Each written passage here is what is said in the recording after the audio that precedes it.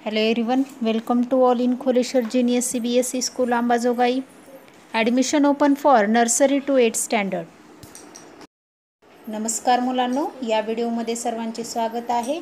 आपण यापूर्वीच्या व्हिडिओमध्ये पाहिलेले होते की आईचे स्वरचिन्ह तर आपण या व्हिडिओमध्ये पाहणार आहोत ओचे स्वरचिन्ह ओ ओ ओजेवालाचे हे आपण आत्तापर्यंत ऐकत आलेलो आहेत. पण तो ओ जो आहे म्हणजे ओचे स्वरचिन्ह कुठे कसे वापरायचे आणि त्याचे वाचन कसे करायचे हे पण आपण आता या व्हिडिओमध्ये शिकणार आहोत. तर चला पाहूया तुमच्या पुस्तकामध्ये पान नंबर एक्केचाळीसवर हा घटक दिलेला आहे. पाहूया. चला. पहा वाचा आणि समजा. इथे आपण काही शब्द पाहणार आहोत आणि त्यांचा विग्रह पाहणार आहोत की कशा पद्धतीने इथे ओचे स्वरचिन्ह वापरलेले आहे. इथं मोर शब्द दिलेला आहे. त्याला मला ओचे स्वरचिन्ह जोडून तो मो तयार झालेला आहे. कसा पद्धतीनं बघा? म अधिक ओचे स्वरचिन्ह अधिक र. बरोबर मोर. तो गुलाबी रंगाने दर्शवलेला स्वरचिन्ह जो आहे तो ओचा स्वरचिन्ह आहे. त्याच पद्धतीने पुढे दिलेली आहे टोपली. ट अधिक ओचे स्वरचिन्ह अधिक प अधिक ली. टोपली. हे दोन शब्द इथं त्यांचा संधी विग्रह करून सुद्धा सांगितलेले आहे. त्याच पद्धतीनं खाली बघा प्रत्येक एक मुळाक्षराला ओचे स्वरचिन्ह लावून त्याचे वाचन करू. ह ला ओचे स्वरचिन्ह वापरून होतो. हो त्याच पद्धतीने सचा सो र ला रो म ला मो ख ला खो त ला तो क ला को आणि ग ला गो. तर आपण आणखीन त्यापुढील शब्द पाहूया.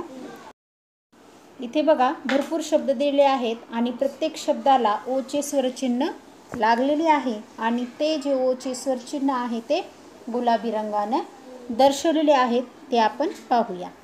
पहिला शब्द आहे भोवरा. भला ओचा स्वरचिन्ह लागलेला आहे त्यामुळे भचा भो झालेला आहे.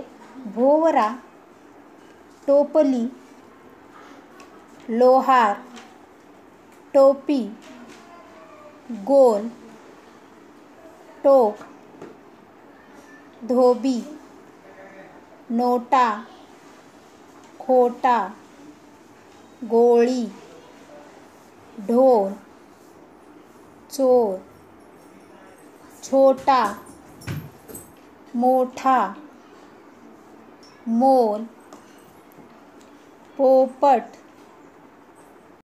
कोळी घोडा मोती होळी कोकिळा लोट मोटार रोटी दोरी हे सगळे शब्द इथे सांगितलेले आहेत आणि आपण त्याचे वाचनही केलेले आहे. इथे प्रत्येक शब्दाला ओचे स्वरचिन्ह लागलेले आहे. तर हे झाले ओचे स्वरचिन्ह वापरून तयार केलेले शब्द. याच पद्धतीने आपण ओचे स्वरचिन्ह वापरून एक कविता तयार केली आहे. त्याचे सुद्धा वाचन करूया.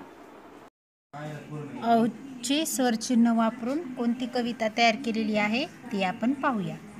दोन मोर नाचत होते छोटा मोर आणि मोठा मोर. बघा इथं प्रत्येक शब्दामध्ये पहिल्या मूळ अक्षराला ओची मात्रा लावलेली आहे आणि ती गुलाबी रंगाने दर्शवलेली आहे. ओला एक काना एक मात्रा असं त्याचे स्वरचिन्ह असते ते इथे दर्शवलेले आहे. तर या कवितेत सांगितलेली आहे की दोन मोर नाचत आहेत आणि एक कसा आहे एक छोटा आहे आणि एक मोठा आहे. त्याचप्रमाणे दोन पोपट बोलत होते. इथं सुद्धा दो पो बो हो हे जे प्रत्येक पहिले मुळाक्षरे आहेत तिथं ओची स्वरचिन्ह वापरलेले आहेत. छोटा पोपट मोठा पोपट. इथे सुद्धा दोन पोपट आहेत आणि दोन पोपट काय करत आहेत? बोलत आहेत. त्यामधला आहे कोणकोणते आहेत? छोटा पोपट आणि मोठा पोपट. मोरांचं नाचणं सांगितलेलं आहे आणि पोपटाचं बोलणं. त्याच पद्धतीनं दोन घोडे धावत होते. छोटा घोडा मोठा घोडा. दोन घोडे काय करत होते? धावत होते. त्यामध्ये छोटा घोडा एक होता आणि मोठा घोडा एक होता. इथे प्रत्येक शब्दाला ओचे स्वर चिन्ह वापरून दर्शलेली आहेत. फक्त धावत हा शब्द सोडून बाकी सगळे शब्द जे आहेत ते ओचे स्वर चिन्ह वापरून आपण वाचलेली आहेत आणि दाखवलेली आहेत. बघा एकदा दोन मोर नाचत होते छोटा मोर मोठा मोर. दोन पोपट बोलत होते छोटा पोपट मोठा पोपट.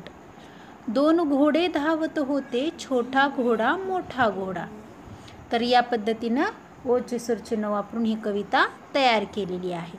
तर आज आपण ओचे स्वरचिन्ह हे वापरून शब्द मुळाक्षरे आणि कविता पाहिलेली आहे आणि ते तुम्हाला चांगल्या पद्धतीनं समजलेली असेल असं मला वाटते तर याच्या पुढचा भाग आपण पुढच्या व्हिडिओमध्ये पाहू. धन्यवाद.